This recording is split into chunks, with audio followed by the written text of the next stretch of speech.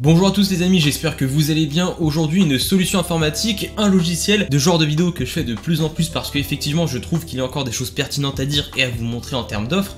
Et aujourd'hui je vais vous apprendre à récupérer des fichiers que vous avez perdus sur par exemple une réinitialisation de disque dur ou simplement un fichier corrompu perdu. Je vais vous apprendre à potentiellement récupérer vos données. Je dis potentiellement parce qu'effectivement ce logiciel va pouvoir récupérer tout type de fichiers sur par exemple des SSD, des cartes SD, des clés USB enfin bref, tout type de disque dur. Et euh, par contre, effectivement, si votre fichier, comme je vous ai dit, est corrompu, je ne sais pas si on pourra, mais ce qui est bien avec ce logiciel, c'est qu'on pourra prévisualiser ce que vous pouvez récupérer. C'est-à-dire qu'on ne sera pas obligé de payer juste pour voir si oui ou non on va pouvoir le récupérer. Vous allez pouvoir récupérer une multitude de fichiers, que ce soit des MP4, des Word, des PNG, des points texte, enfin bref, tout type de fichiers, plus de 1000 types de fichiers, c'est énorme.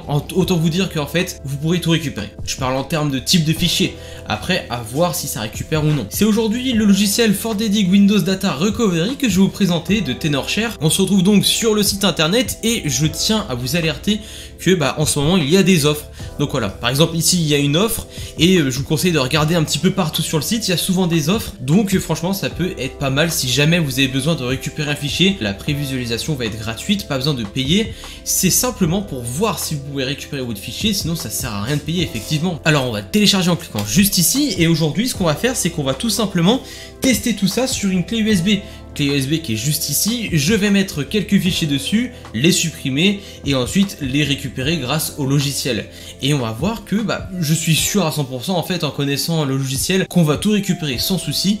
On va installer tout ça. Ah oui, tant que j'en profite, le petit message ici qui est aussi important, si jamais par exemple vous avez des données perdues sur votre disque dur par exemple principal, et eh bah ne l'installez pas sur le même enfin sur le même disque dur. C'est un conseil que j'ai déjà donné sur une autre vidéo qui parle de récupération de fichiers. Effectivement, ne faites pas cette erreur prenez un autre disque dur, une clé USB, enfin bref, faites attention de ne pas installer le logiciel sur le même emplacement où est-ce que vous avez potentiellement des choses de perdues. Ça risquerait bah, de corrompre totalement les fichiers que vous avez perdus à tout jamais. Alors on va installer et euh, en fait mon but en fait c'est de montrer des techniques et eh bah, rapides sans se prendre la tête facile à utiliser et voilà c'est bien pour ça que les offres sont parfois payantes parce qu'effectivement on va payer pour quelque chose de rapide, efficace et simple. Effectivement il existe d'autres manières de récupérer des fichiers, après je ne sais même pas comment on fait et je ne sais pas où aller voir et je ne sais pas si ça sera aussi efficace. On va donc ouvrir le logiciel et vous allez voir que c'est assez simple pour prendre en main tout ça. Là par exemple on peut voir que c'est un SSD, là que c'est un hard disk.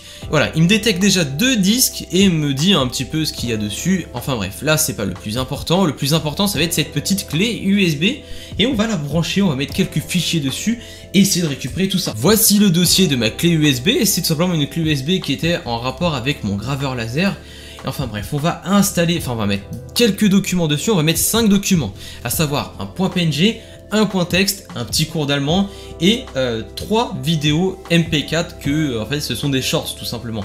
Donc on va les mettre et on va tout simplement et eh bah, les supprimer ensuite et voir si on les récupère ou non. En l'occurrence je prends l'exemple d'une simple clé USB mais euh, pensez-y que en fait bah, ça fonctionne sur des euh, gros disques durs, sur des gros SSD, enfin bref, là c'est pas le souci, j'ai voulu faire ça rapide et également bah, mettre en situation parce que c'est vrai que on met souvent des choses sur ces clés USB là. J'ai donc mis mes différents fichiers, à savoir le point texte, la, miniature et les trois euh, vidéos en MP4 et ce que je vais faire c'est que je vais tout simplement eh bah, sélectionner tout ça et supprimer.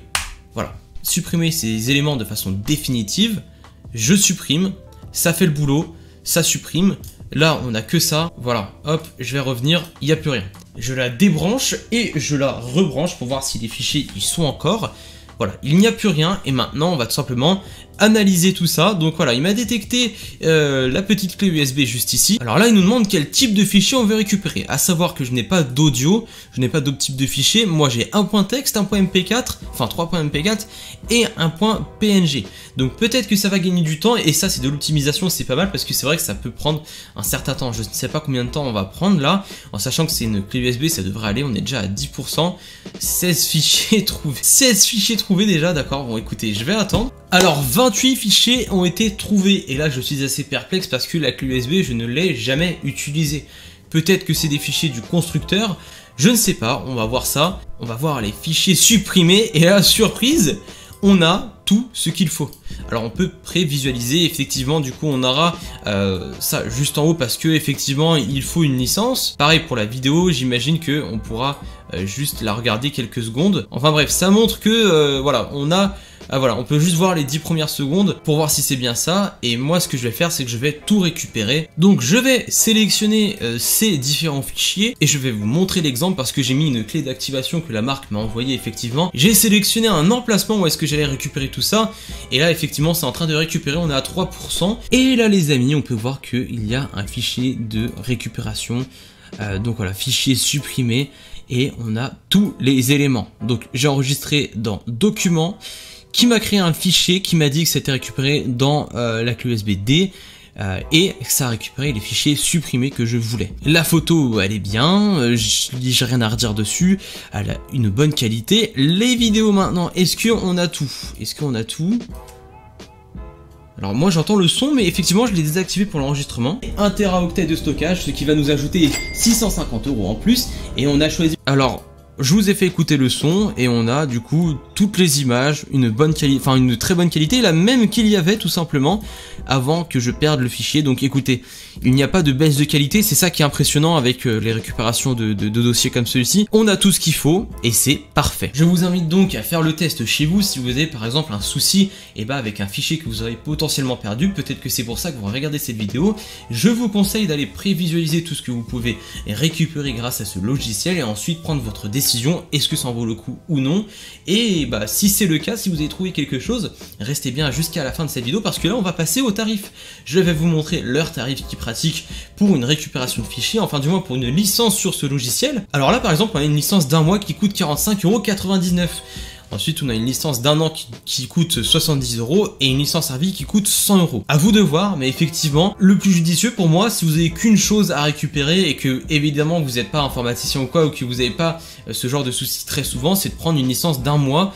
Comme ça, vous récupérez votre fichier, vous n'avez pas de soucis et voilà. Voilà, après à vous de faire votre choix. Après il y a des tarifs entreprises, mais bon ça c'est pour euh, plusieurs PC, donc effectivement c'est pas très intéressant pour vous. Et euh, de bien regarder, par exemple là, je sais que j'ai un code promotionnel. Et là par exemple, je viens complètement de gagner 22 euros sur ma commande, donc ça coûte 33 euros. Alors c'est pour vous dire, scrutez bien le site et regardez s'il n'y a pas des réductions. Pour le coup, j'en aurais pas à vous en offrir malheureusement, mais je peux tout simplement vous conseiller de l'utiliser gratuitement si vous avez juste envie de voir si le logiciel peut récupérer à la capacité de récupérer vos fichiers perdu. Et si c'est le cas, et eh ben je vous laisse décider vous-même de si ça vaut le coup ou non. Voilà, en tout cas, j'espère que je vous aurai enlevé une sacrée épine du pied parce qu'effectivement, c'est le genre de problème qui peut poser souci. On sait pas la solution, on cherche sur internet rapidement. Des solutions gratuites, bien sûr qu'il y en existe. Après, est-ce que vous êtes informaticien? Est-ce que vous avez le temps de faire ça? Et est-ce que ça va être aussi efficace qu'un logiciel?